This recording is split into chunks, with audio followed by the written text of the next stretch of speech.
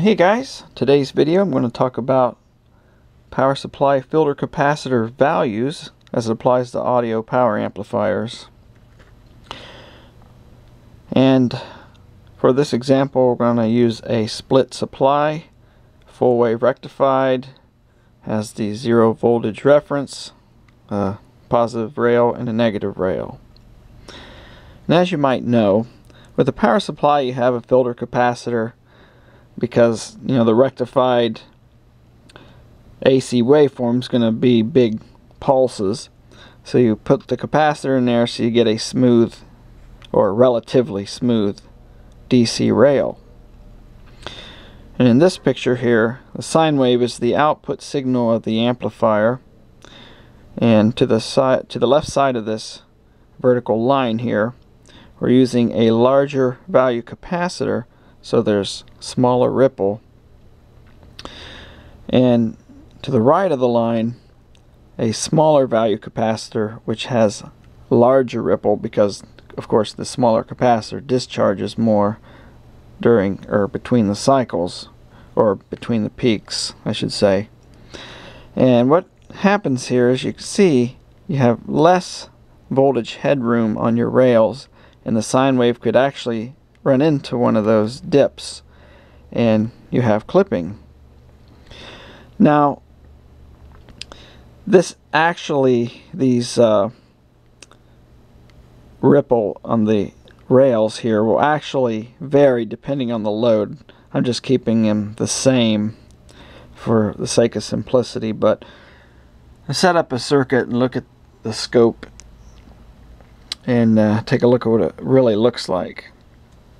And of course, the frequency of the sine wave versus the frequency of the ripple, you'll have some odd harm, um, beating effects, kind of a as the clipping goes in and out.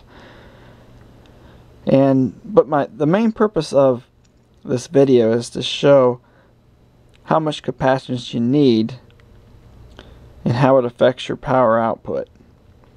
So we'll draw some curves, I'll run a bunch of tests and uh, we'll take a look and see what the results are. Okay, I have a little power supply set up. I have a uh, little Radio Shack 2 amp 25.2 volt transformer with a center tap, full wave bridge. Those are diodes I got out of that TV set I tore apart a few videos ago. And the filter caps. And this is just uh, setup for the input potentiometer and a uh, output. Going to use a 4 ohm load and 8 ohm load to test.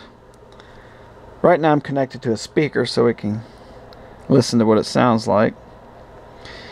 And uh, using the LM1875 chip amp. Had a little uh, lab amp I guess I made here for experimenting. Okay, I'm scoping the uh, positive rail, so ground's on zero and the probe is on the plus. And as the amplifier sits idle, here's the ripple. I'm starting out with very low value capacitors. These are 100 microfarads.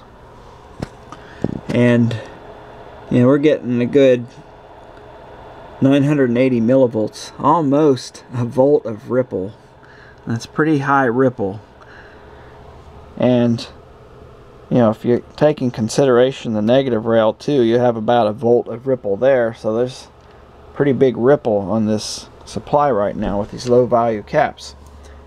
However, to show you how good amp this amplifier is at rejecting the ripple noise, I don't know if you can hear it. There's a very light amount of hum. It's very quiet. The amplifier is, has very good supply rejection. So no hum at all. But right now I have a sine wave sweep I'll play and we'll take a look at what happens here.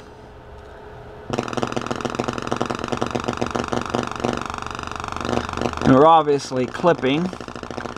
And as there's power drawn on the rail, it pulls it down more.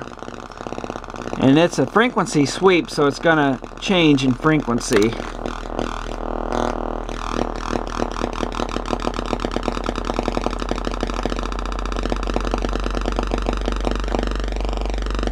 We can, if I turn the level down, so it's not clipping anymore. I'm not, you know, actually I'm not sure if it's clipping or it's pulling the voltage down to below the amplifier's operating voltage and just you know it starts cutting out. So yeah I'm not sure if that's actually clipping or not. I'd have to look at that. Now I'm playing a uh, 5 hertz wave and you can see as the current's drawn it's pulling that capacitor voltage down causing that wave effect. Let me turn this down and see it going there.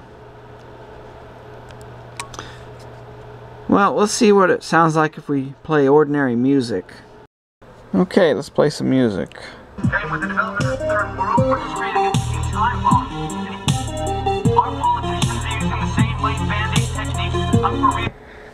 Of course, I'm using that same song I always use. I think it's the only one that I don't get a, a copyright notice on. But the amplifier sounds perfect. But we are playing at a low level. Let's turn it up.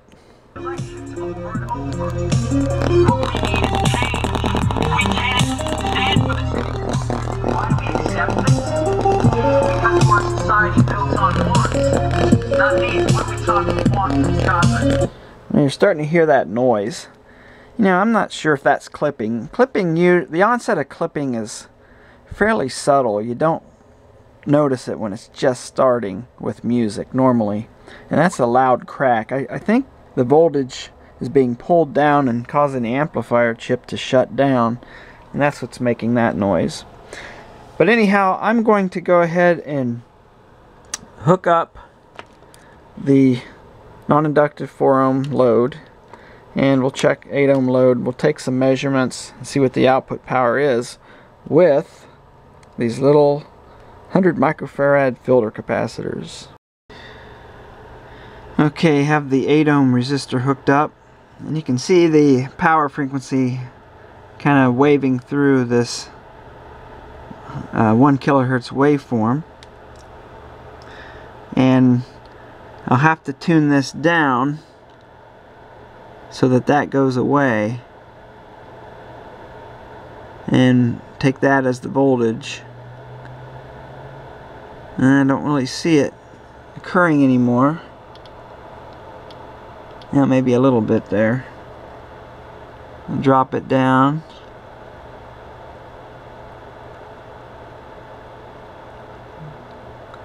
And just taking it up till it goes away. And it's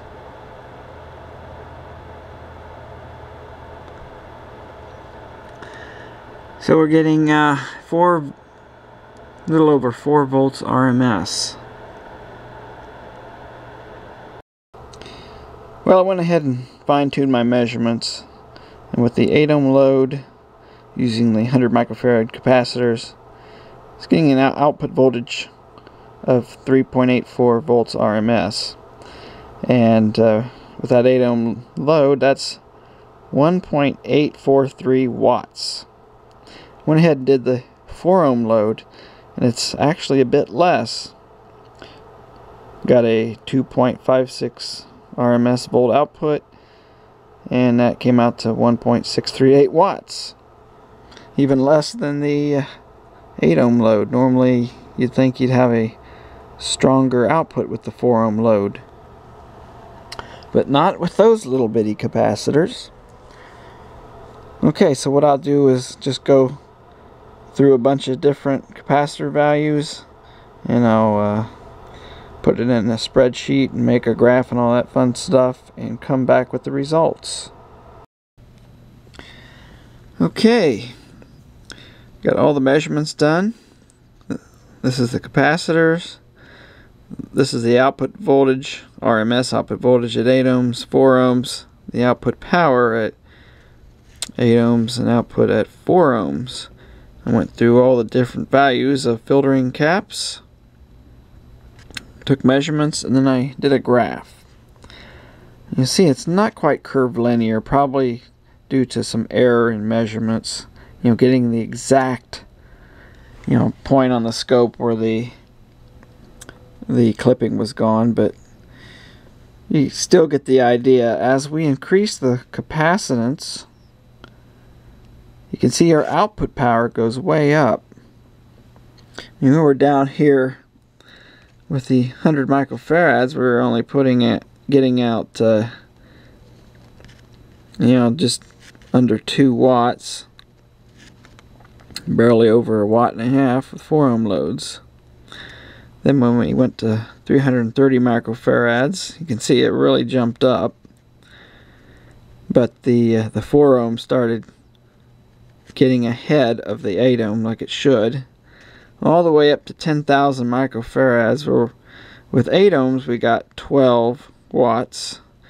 And 4 ohms we got 19 watts.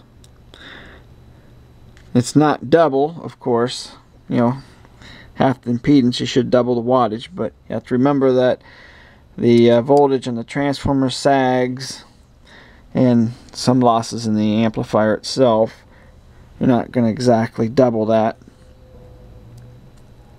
So, pretty interesting. Just changing the capacitance value of the filter caps is significant on uh, the output power. However, you do notice that it at a certain point it you don't get much return on your investment. When you go over about 200 or 2200 microfarads, the output doesn't increase much. You can see it kind of starts to flatten out. So there's a point where you know, increasing the value of the capacitance doesn't help much. But you do have to remember this is just a single channel amplifier. If it was stereo, yeah, it would make difference because you have a second amplifier, you know, pulling uh, current from the filter caps. So you'd have to uh, consider that if you're building a stereo amp. And that's why I tend to go with uh, at least 6800 microfarads or even uh, with my computer amp over there I went with 10,000 microfarad capacitors. Well I guess that's about it. Pretty neat experiment and thanks for watching.